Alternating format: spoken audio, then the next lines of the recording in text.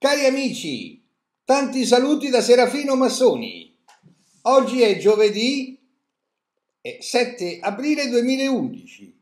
José Socrates e l'impero portoghese. José Socrates è il dimissionario capo del governo portoghese. Voi sapete dov'è il Portogallo?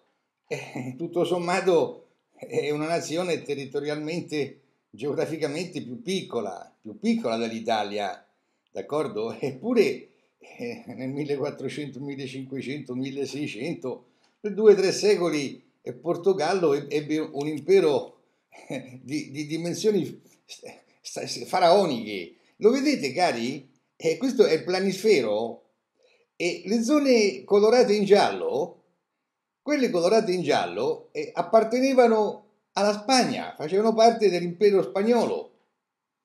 E quelle colorate in verde, eh, io mi auguro che voi le possiate vedere, e di solito noi vediamo le zone colorate in, eh, in verde, eh, diciamo, lungo le coste. Quelle facevano parte dell'impero portoghese, mentre eh, l'impero spagnolo era un, un impero eh, territoriale, vedete, vedete là, il Messico, la California, poi giù, giù, giù, giù, giù, l'America centrale, giù, giù, giù, giù, giù, giù, tutta l'America meridionale, l'America delle Ande e poi anche, anche altrove, eh, ovviamente, anche altrove. Invece vedete i portoghesi si fermavano lungo le coste, guardate un po', guardate un po' che stavano dappertutto i portoghesi, a parte la costa brasiliana, che eh, i brasiliani sapete non parlano lo spagnolo, parlano il portoghese, eh. Vedete, vedete, tutto attorno all'Africa c'erano i, port- i portoghesi, guardate, guardate, spostatevi, spostatevi verso il Medio Oriente, verso l'Oriente, guardate, guardate i portoghesi, stavano dappertutto, guardateli bene i portoghesi, guardate che spettacolo, cari amici. Guardate che cos'erano i portoghesi alla fine del 1400, nel 1500, nel 1600. E si può dire che colonie ce ne hanno avute fino all'altro ieri, magari piccoline perché poi gli imperi coloniali si sono sfaldati, va bene? Eh? Dopo questi due grandi imperi spagnolo e portoghese, poi piano piano si sono presentati sulla faccia della storia l'impero francese, poi ci fu pure quello olandese, poi ci fu l'impero, l'impero britannico, britannico, l'impero britannico in fin dei conti eh, si è chiuso tra il 1945 e il 1960. Oggi abbiamo, possiamo dire che abbiamo un impero che assomiglia quello portoghese eh, nell'impero americano.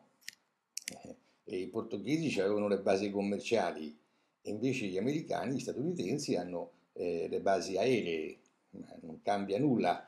Vedete la potenza del Portogallo? Pensate che nel 1494 eh, eh, per, per, per media, tramite mediazione pontificia tra eh, la, la, corona spagnola e la corona portoghese eh, venne siglato il trattato di Tordesillas 1494 d.C., dove da buoni amici Portogallo e, e Spagna si spartirono, si spartirono il mondo. La Spagna disse, disse questo qua è la mia zona di influenza e, e io Spagna rispetto le zone di influenza del Portogallo e viceversa. Eccolo qua, io spero che sia sufficiente, cari, eh? Sia sufficiente, ricordo? Guardatelo bene, l'impero portoghese, vero? Guardate tutte le coste africane, guardate le coste, le coste asiatiche, guardate, guardate, i portoghesi stavano dappertutto, cari amici, dappertutto. Un grande impero, per certi versi eh, assomigliava in quello che in piccolo fu l'impero veneziano, anche, anche Venezia eh, aveva un, impero fatto come quello portoghese, seppur in piccolo, eh, eh, fondava, eh, occupava i cosi, come si chiamano lì, i porti, i porti eh, e dove poteva vendere o comprare le merci. L'impero portoghese era un impero mondiale, un impero mercantile mondiale. Ecco, beh, Adesso che l'abbiamo ben visto l'impero portoghese, torniamo all'oggi, torniamo all'oggi. Perché José Socrates è, è, è il, il, presidente, de, il capo del governo portoghese, mi pare che è dimissionario, dimissionario E il premier José Socrates, eccolo qua, vedete cari amici? Il premier José Socrates, in Portogallo, soldi dalla Unione Europea o sarà il crack? Domani l'Ecofin, timori di contagio. Oui. Ma allora com'è sta faccenda qua? Che, che dopo la Grecia, che si è dovuta far prestare un mare di soldi dall'Unione Europea e, e, e dalla Cina, dopo l'Irlanda, che pure lei ha bisogno di un mare di soldi e dall'Unione Europea e probabilmente anche lì la Cina, adesso arriva, arriva il Portogallo, dice, prima non lo dicevano per orgoglio, dice no, dicevano no, però adesso che si è dimesso, eh, eh, José Socrate dice, beh sì, abbiamo bisogno, vedete?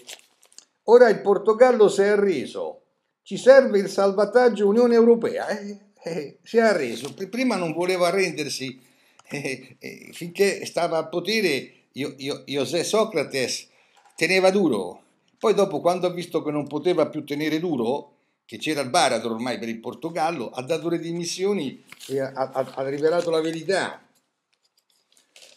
Domani l'Ecofin per salvare il Portogallo ed evitare il contagio al resto della zona euro. Mm, allora, vediamo qualcosina. Poi vediamo, eh, vediamo in che consiste, perché questo video.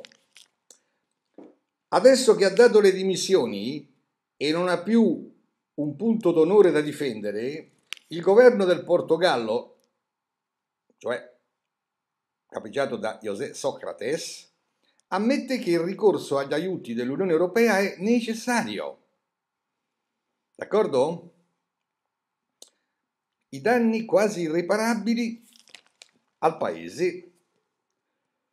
Accettare aiuti, accettare aiuti dall'Unione Europea nella forma di un bel pacco di miliardi può non sembrare un sacrificio, tutt'altro, e invece lo è perché i paesi costretti a farsi finanziari dall'Europa poi sono obbligati a, presenta- a presentare pesanti programmi di austerità per garantire il rimborso dei prestiti.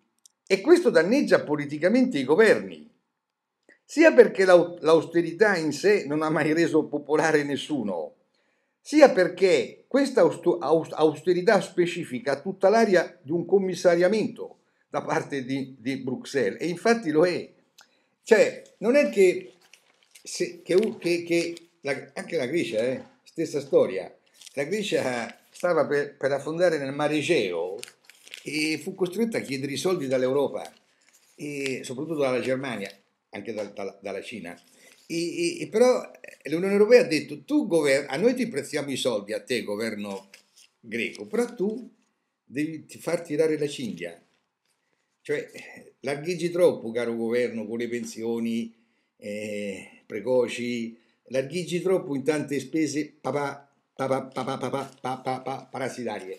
Quindi noi ti diamo i soldi, però tu ci fai vedere, carte alla mano, che ti ricordoni della cinghia. Eh? Uh, cosa è successo in Grecia?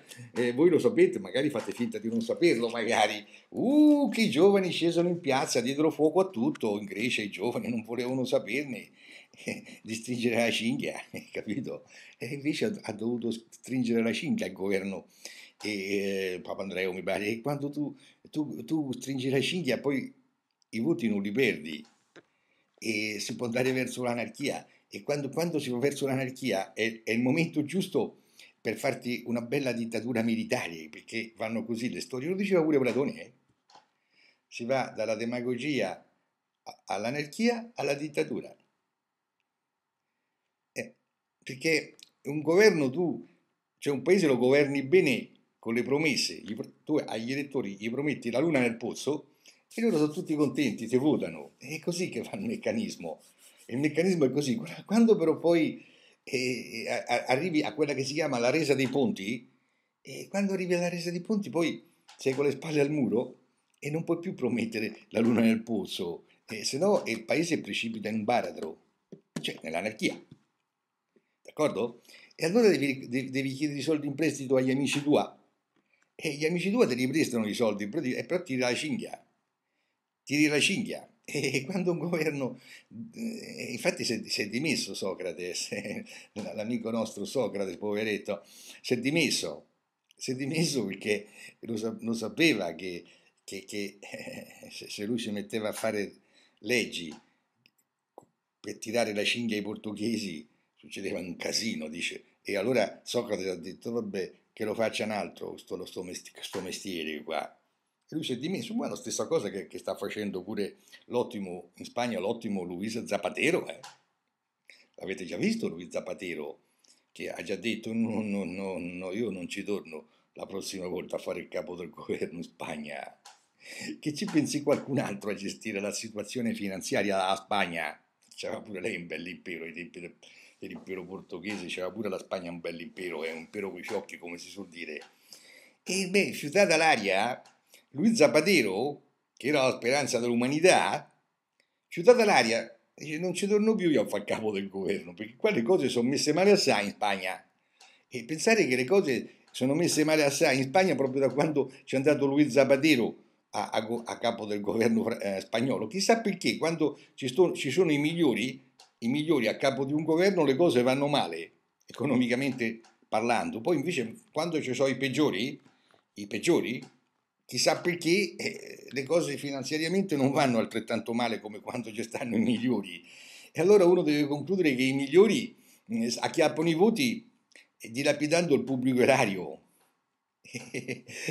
Poi gli tocca ai peggiori a mettere a posto la situazione economica e giù tutto eh, i governati e il popolino che dice maledetti, maledetti, maledetti. Però nessun, nel popolino non dice ma com'è che l'ottimo Luis Zapatero, che non l'ha mai fatto il bunga bunga, ha, ha, ha precipitato la Spagna e, e, in una situazione disastrata sul piano eh, eh, economico, finanziario, al punto che la Spagna ha a livello di disoccupazione generale e specifica giovanile un tasso molto più elevato che l'Italia, dove ci sta quell'infamone di Silvio Berlusconi, il fatto che i ragazzi non li abituano a scuola a fare i confronti paragoni, capito? io, io questi, vi faccio, vorrei fare il discorso, perché quando voi vivete in famiglia, io lo so quanto è triste e dura la famiglia, d'accordo? E per poter valutare la situazione nella vostra famiglia, dovreste andare dentro le famiglie altrui, ma con qualche scusa, con la scusa che andate a fare i compiti con il vostro amico, con la vostra amichetta, stateci un po' di tempo dentro le famiglie altrui e piano piano, piano piano verrete a sapere di quelle cose, cari amici, per cui direte, direte, mamma mia, mamma mia, ma io sto meglio nella famiglia mia. Mamma mia, mamma mia, sto meglio nella famiglia mia, mamma mia. Bisogna fare i confronti. Eh, io per esempio, tanto per dire una banalità, ieri ho guardato il TG3, no? Perché io guardo, siccome sono pensionato, mi posso permettere di guardare prima il TG3, poi il TG1 e poi il TG2.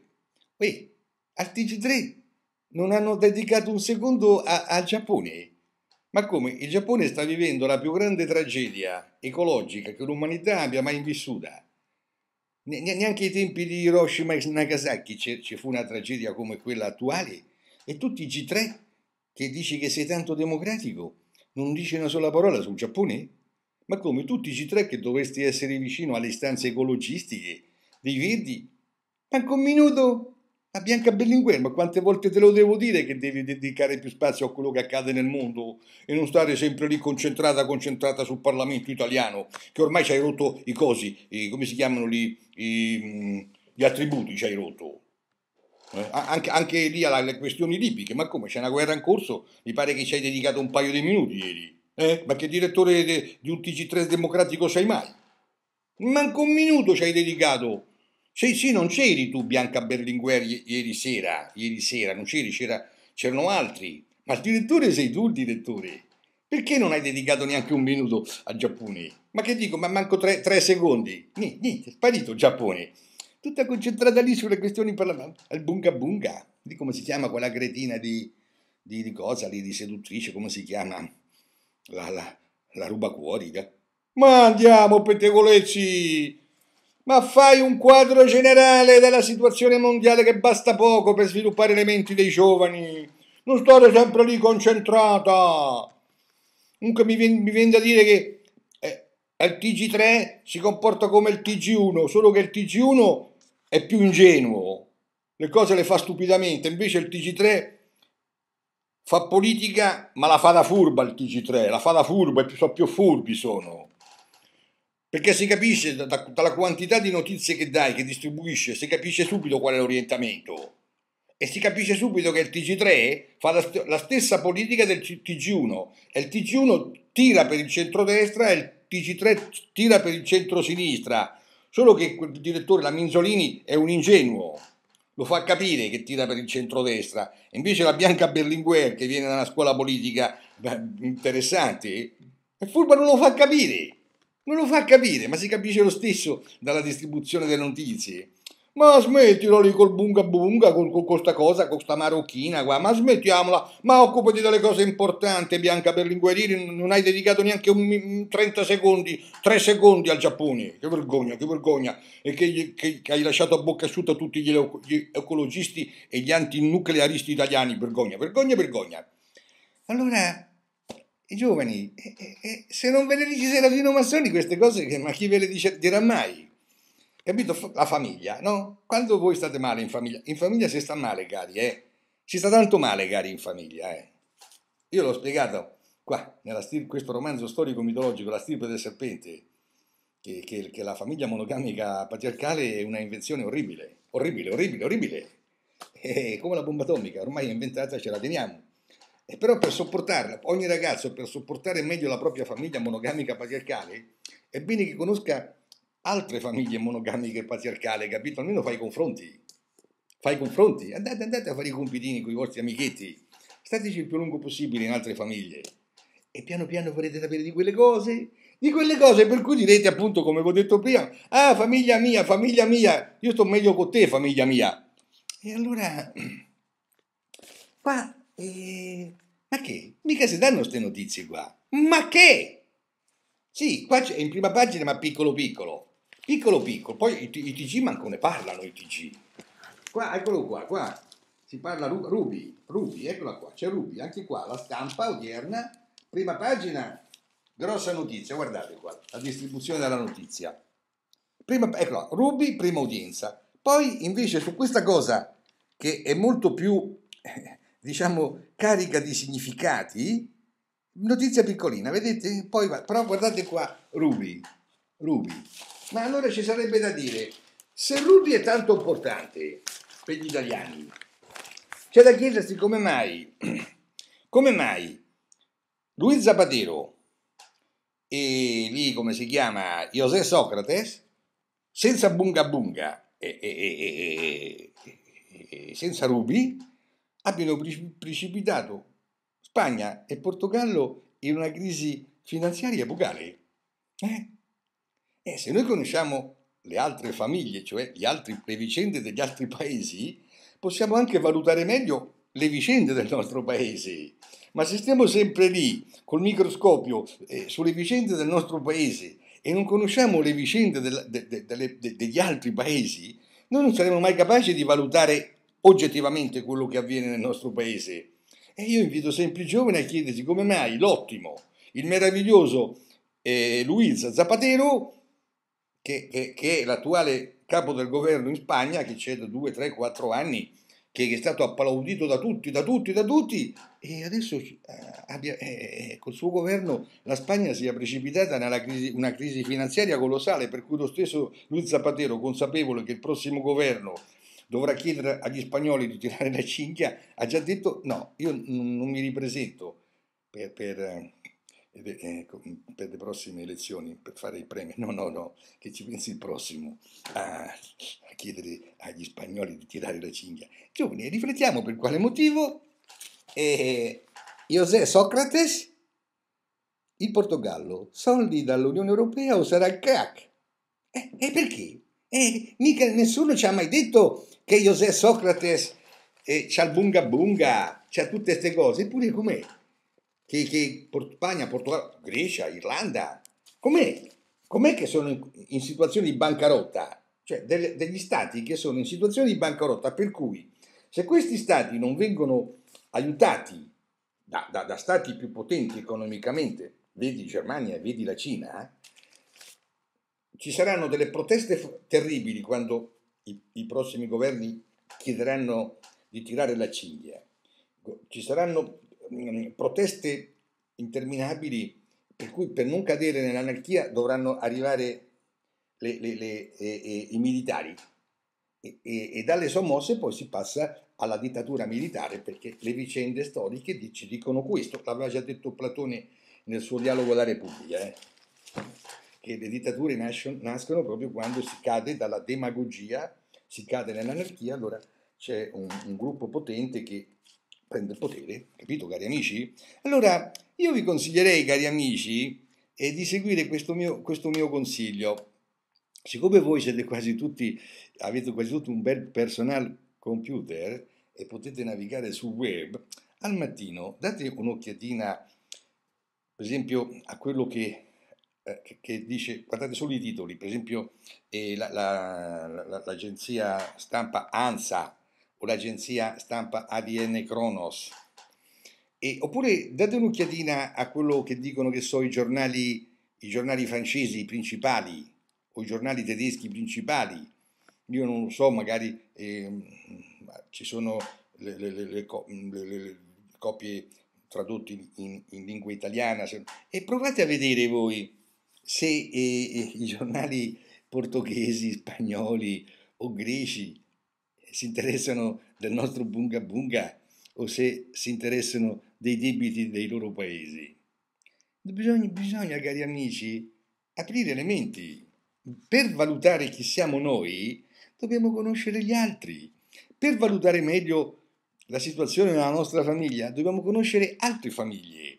Per valutare meglio gli eventi che accadono eh, nel nostro paese, dobbiamo conoscere gli eventi che accadono in altri paesi, confrontare, fare i confronti e chiedersi ma perché? E, e Luisa Zapatero, che era un gran pa- buon padre di famiglia, che non faceva i balletti e via di ma perché? Lui come capo del governo, buon padre di famiglia, sul piano morale ineccepibile, ma com'è che lui capo del governo, col suo governo la Spagna è precipitata a fondo economicamente parlando? E poi dovete chiedervi, ma com'è che José Socrates, anche lui, capo del governo del Portogallo, ottimo padre di famiglia, mai fatto bunga bunga, mai avuto rapporti con rubacuori, com'è che ha precipitato il Portogallo, dice se no sarà il crack. Soldi dalla UE, o sarà il crack.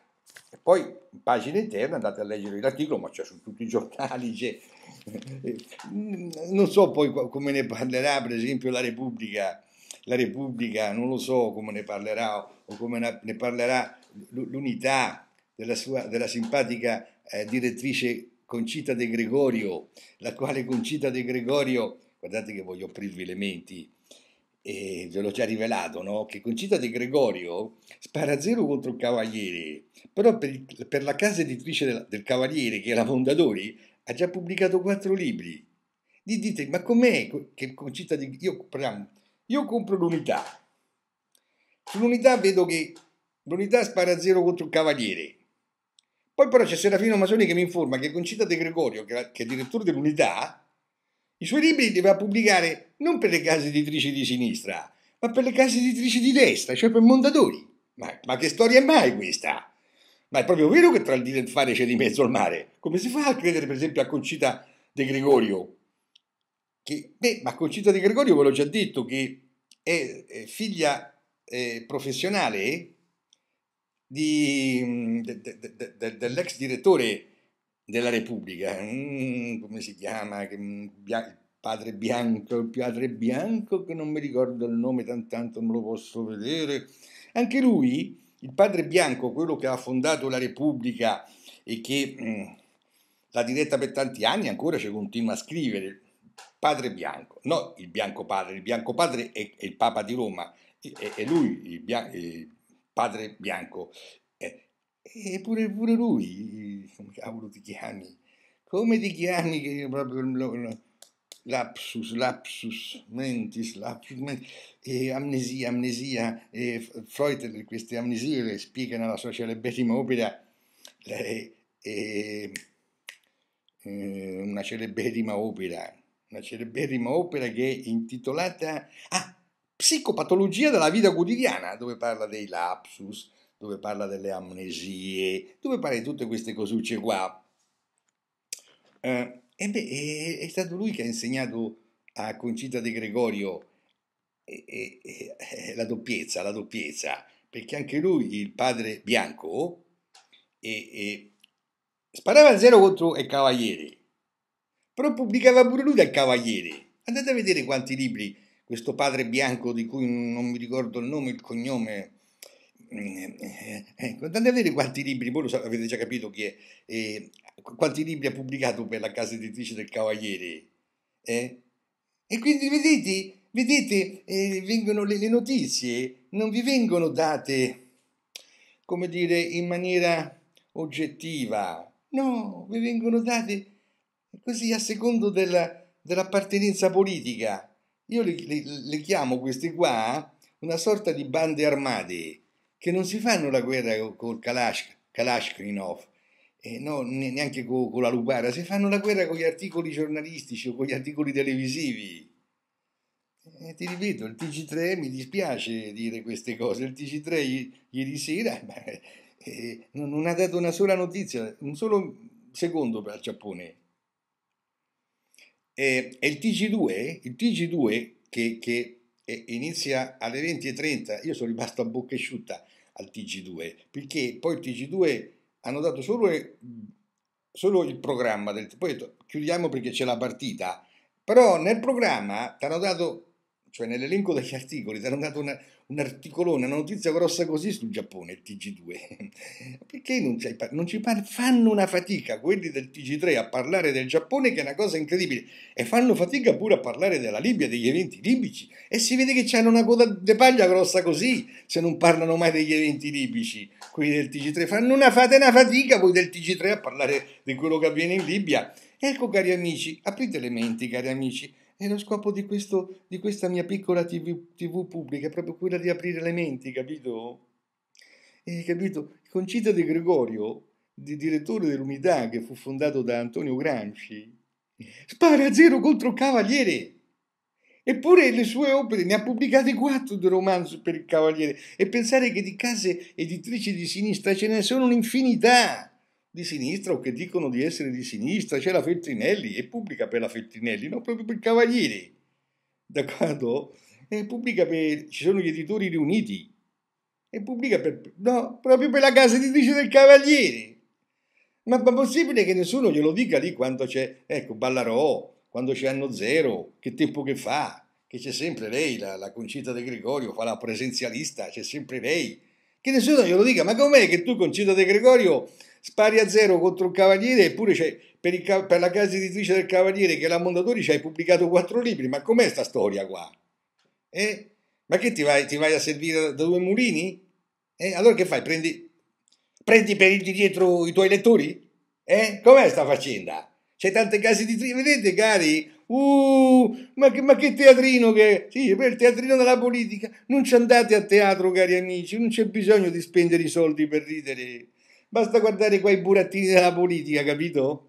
Capito, cari amici? Pensate voi, eh, eh, eh Concita De Gregorio, direttore de, mm, dell'Unità, il, il, il, quotidiano fondato da Antonio Gramsci, che spara zero contro un cavaliere, però va a pubblicare i libri presso la casa editrice del Cavaliere, la Mondadori. Pensate un po' voi, quale, quale coerenza, quale fermezza morale, pensate un po' voi che roba, oh, amici miei. Vabbè. Vabbè, cari amici, ecco qua. Vedete, cari, oggi, questo era, vedete, e le, le, le, le, zone, vedete, tutte le zone costiere in verdi, erano nel Portogallo, cari. Guardate che bella cartina geografica. Mentre le, zone dipinte in giallo, vedete, entrano nell'entroterra e sono dalla Spagna, quelle dipinte, dipinte in verde, vedete che sono sottili sottili, lungo le, tutte le coste dell'Africa, guardate l'Asia, guardate che spettacolo, il Brasile, guardate che spettacolo. Eh, oggi l'impero portoghese è ridotto così. José Socrates, un piccolo articolo, tanto sono più importanti le notizie su Bunga Bunga di questa qua. Portogallo, soldi da, dall'Unione Europea sarà il crack dentro a pagina 20, 30, 40 un articolo che specifica la situazione del Portogallo. Cari amici, io se siete giovani Io lo so che avete problemi in famiglia, tutto è inevitabile non avere problemi in famiglia, d'accordo? Per soffrire di meno però cercate di verificare come stanno i vostri compagnucci e nelle, nelle loro famiglie. E così voi se volete davvero sapere come vanno le cose in Italia, eh, dovete informarvi su come fan, vanno le cose in, altrove. Perché non ve lo dicono, non ve lo dicono come vanno le cose altrove, capito? Ci vuole soltanto... Sono, questi, per fortuna che in Italia c'è questa piccola tv pubblica di Serafino Massoni che vi spiega come dovete fare per aprire le menti, per fare i confronti. Eh, l'ho detto ieri, eh, quelli della sinistra, se vogliono conquistare la, la fiducia dell'elettorato, devono fare qualcosa di concreto e non limitarsi a parlare, solo a parlare e a dire dimettiti, dimettiti, dimettiti, torna a casa, è una vergogna. Qualcosa di concreto! E qualcosa di concreto è, riguarda i costi vergognosi di quella che è stata chiamata la casta politica, perché anche quelli della sinistra che dicono che sono i buoni, i puri, anche loro hanno la stessa paga de, dei malvagi della destra, chissà perché, chissà perché, chissà perché. E chissà perché l'ottimo poeta Nichi Vendola, governatore delle lontane Puglie, protettore degli operai metalmeccanici, si prenda 15.000 euro al mese dalle casse erariali mentre i suoi protetti, operai metalmeccanici delle catene di montaggio, invece di prendersi come lui 15.000 euro al mese, debbano accontentarsi di 1.200 euro al mese, magari con eh, moglie e figli a carico. Nichi Vendola. Concludiamo questo video parlando di Nichi Vendola, l'uomo più buono d'Italia. Va bene, cari amici? Aprire le menti, cari amici, aprire le menti. Grazie e a tutti voi tanti saluti da Serafino Massoni.